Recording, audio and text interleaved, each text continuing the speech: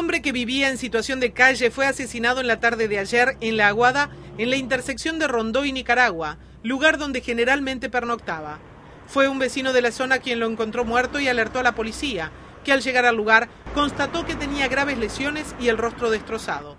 En la escena del crimen se encontraron piedras ensangrentadas que pudieron haber sido utilizadas para dar muerte al indigente. La policía informó que el hombre fallecido aún no está identificado porque no portaba documentos. Se estima que tenía unos 50 años.